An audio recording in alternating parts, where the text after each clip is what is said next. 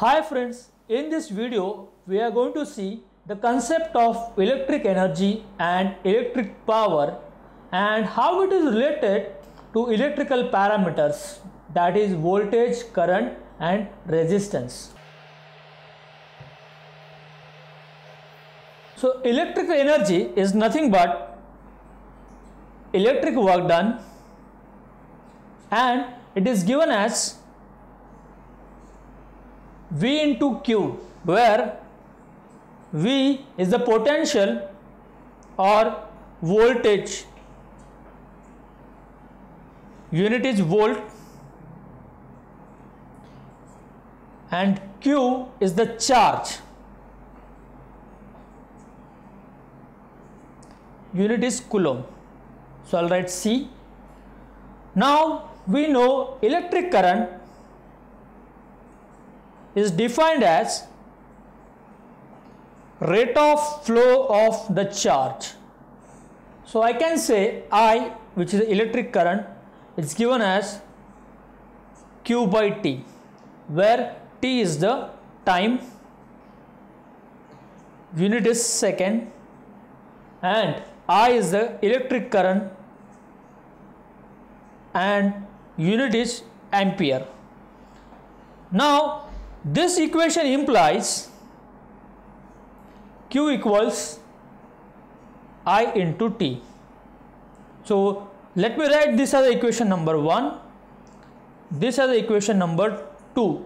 So if I substitute equation 2 in equation 1, I will get, so I'll write here from 1 and 2, I can say electric energy E equals VIT.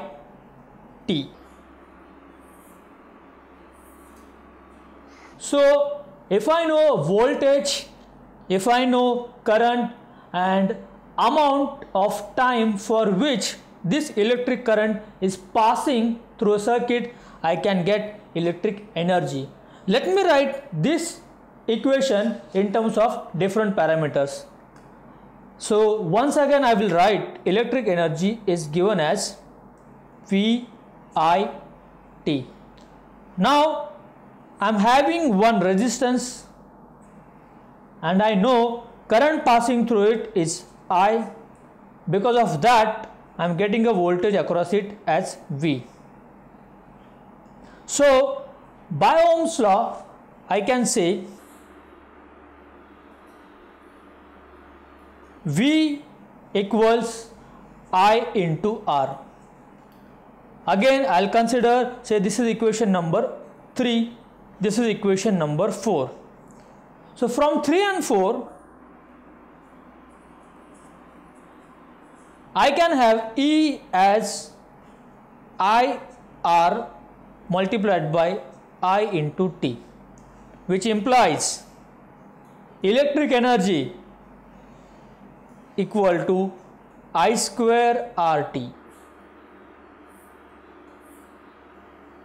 Again by Ohm's law I can say I I can consider as V by R.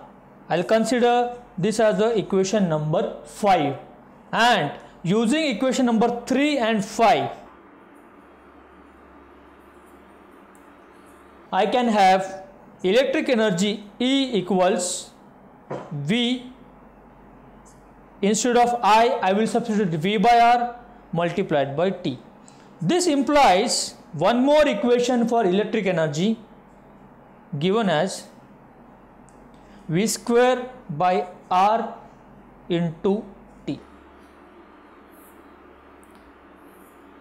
So, if I know voltage current of a circuit and amount of time for which current is passing, I can use this expression for electric energy.